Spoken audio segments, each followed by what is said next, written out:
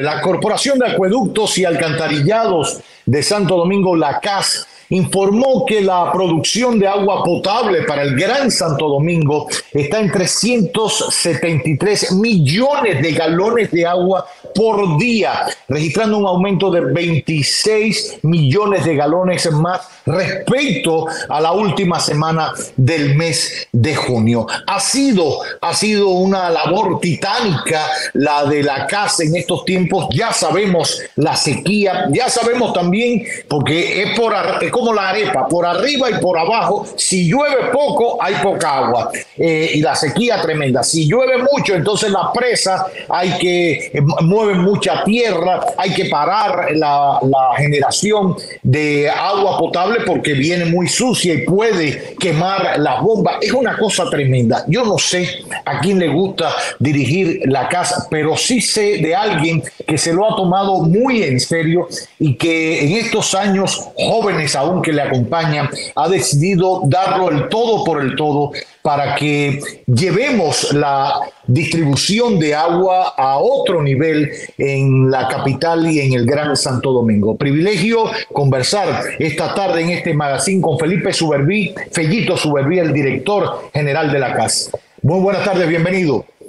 Gracias Roberto por esa introducción. Para mí siempre es un placer compartir contigo y con, aunque no lo veo aquí a Miralba, un saludo y a, mi querido Pinky.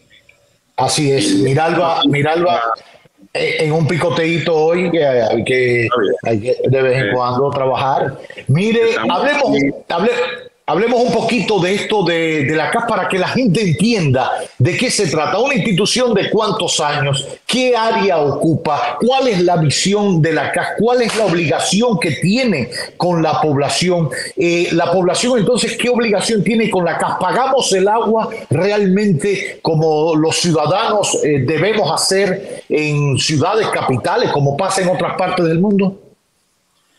Te explico, Roberto, eh, y le explico a tu radio escuchas. La CAS es una institución que fue creada en el 1973. Hoy, o sea, en este año cumplimos 50, 50 años.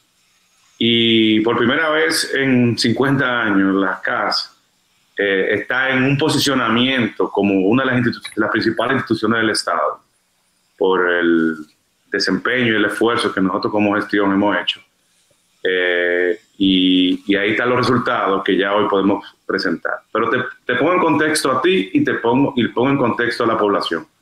Porque la gente entiende que cuando las presas se llenan, ya hay agua para la ciudad y la provincia de Santo Domingo.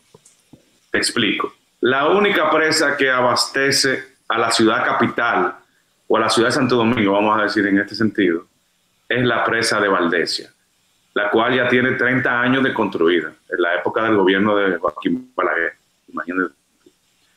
Eso, eso implica que es, es la que abastece en un 33% del 100% que se abastece la, la provincia y la capital, solamente en un 33% de esa presa. El otro 67% se distribuye en otros acueductos, como son el de Jaina Manu Guayabo, que no son presas, sino son diques. Son unas pequeñas represas que de ahí, eh, que represa el río y se abastece eh, diferentes sectores de la ciudad de Santo Domingo y la provincia. Tenemos el acueducto de Barrera Salinidad, que también es una especie de represa, para la gente entienda, que le abastece lo que es eh, la provincia de Santo Domingo Este. En el caso de Santo Domingo Norte, el 98% del abastecimiento de agua es de los es de pozo. O sea, Santo Domingo Este, cuando nosotros entramos, tenía 215, 220 pozos. Ahora tiene alrededor de 260 pozos. Y súmale a eso que en ese entonces habían 80, 90 equipos fuera de servicio.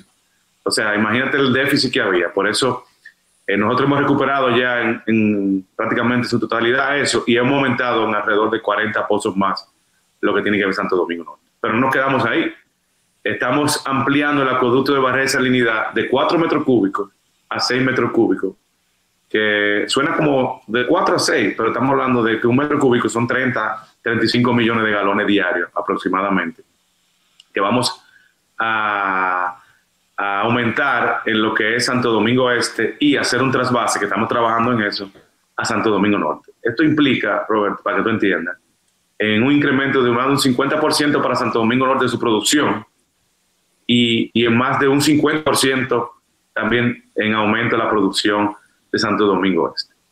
Es interesante porque, y así está eh, en el tema de los alcarrizos, que es donde tenemos mayores situaciones, por un tema de que la producción donde se abastece de un dique que está en el río Duey, donde eh, la desventaja, vamos a decir, de tener diques es, y de no represar, de no almacenar el agua, es que eh, eh, cuando no llueve, esos diques no, no acumulan el agua, los niveles bajan, entonces tenemos una situación de que no podemos darle abastecimiento a la gente. Tenemos también el río Isabela, que tiene una, un dique también y eso abastece todo lo que tiene que ver algunas partes de Arroyo Hondo, Arroyo Manzano, aquí en el Distrito Nacional. Valdese también le da agua a lo que tiene que ver Santo Domingo Oeste.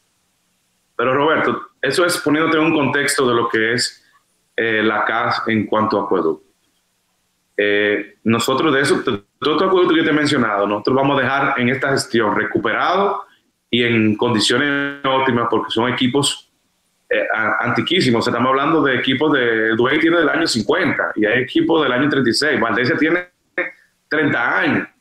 Barrera Salinidad estaba en el gobierno de Hipólito y lo vamos a dejar totalmente actualizado, modernizado en esta gestión, Dios mediante. O sea, son, son logros importantes que van a beneficiar a la ciudadanía, conjuntamente con el aumento de producción del agua, eh, yo diría en más de un 30% del total que encontramos aquí.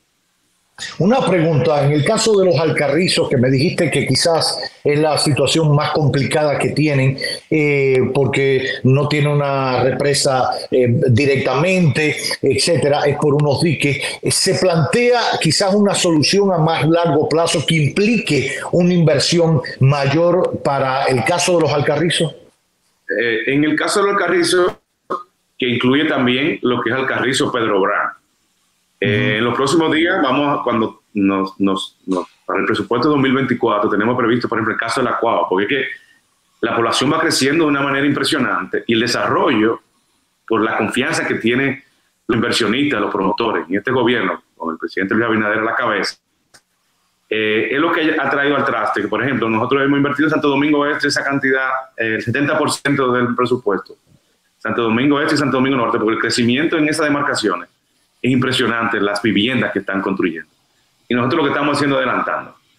En el caso de que, tú me mencionabas, lo que tiene que ver con, con los alcarrizos, Pedro Brán, eh, estamos haciendo diseño, no solamente que va a beneficiar que, eh, a, mediano y a largo plazo, que va a beneficiar lo que es la población de los alcarrizos. Eh, las propuestas que estamos evaluando con, con una empresa eh, dominicana con socios internacionales, vamos a decir, que es, eh, son los que se ganaron la licitación para hacer un estudio de prefactibilidad de tres proyectos que le vamos a presentar en las próximas semanas, eh, meses, vamos a decir, en un par de meses al presidente de la República para que tenga las opciones de los proyectos que van a redundarse sean los más factibles para poder buscar una solución para los próximos 25 30 años, que involucra lo que es el sector de los alcarrizos, que también va creciendo. Lo que pasa que no va creciendo en la misma proporción que crece Santo Domingo Este y Santo Domingo Norte, pero el país, y en el caso ahora de la casa, el Gran Santo Domingo, es impresionante el desarrollo y el crecimiento en cada una de las demarcaciones. Entonces, esos proyectos que yo te mencioné que, que la empresa está evaluando son eh, una presa en, en, lo que es el, eh, el río Jaina, que antes le llamaban eh, la presa ah, de, que ahora es la presa de Jaina, no es eh, otra presa, sino que la presa de Jaina con otros niveles, otras cotas, y, eh, es una posibilidad, como dije anteriormente, también está traer agua del, de, de Atillo, que es otra opción, y una tercera opción es la, presa de Don Juan, que está ubicado en lo que es eh, el, río Sama más arriba, llegando a Monte Plata. Eh, ambas tienen sus beneficios y tienen sus no tan beneficios. O sea, unas son más costosas, pero tienen mayor almacenamiento, otras son eh, más costosas o, o, más económicas, pero se hacen en más tiempo. O sea, tienen sus, sus virtudes, vamos a decir, y entonces el presidente ya tendrá eh, en sus manos la decisión. Pero sí es inminente, Roberto, y a la población, que hay que buscar fuentes de almacenamiento. Eh, en el caso de nosotros como eh, institución, también tenemos, el presidente está muy interesado en evaluar posibilidades, pero eso está llevando a cabo eh, INAPA, nuestro colega Wellington Arnaud, que es el tema de una posible planta desalinizadora, no solamente en la ciudad, sino también en, en provincias aledañas al mar, que están cercanas al mar, como Puerto Plata, La Romana, en el mismo Punta Cana, y Higüey, o sea, están evaluando posibilidades, pero esos son temas que los está manejando INAPA y conjuntamente con nosotros vamos a recibir de ellos una asesoría. Esas son las cuatro posibilidades evaluadas para, para buscar eh, más fuentes de almacenamiento. Porque definitivamente, Roberto, somos cada día más personas y tenemos la misma agua eh, almacenada. Eh, Así es. Es, es una necesidad eso.